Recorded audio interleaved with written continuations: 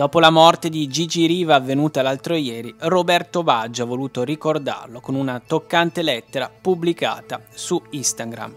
Caro Gigi, amico di tante battaglie e di altrettante ferite, la vita ci ha unito nel suo viaggio, vissuto da noi con tanto amore e infinita passione per il gioco più bello del mondo. Sei stato unico e prezioso, esemplare di grande umiltà, sei stato per me un esempio bellissimo di coerenza e di attaccamento alla maglia, di sincero coraggio.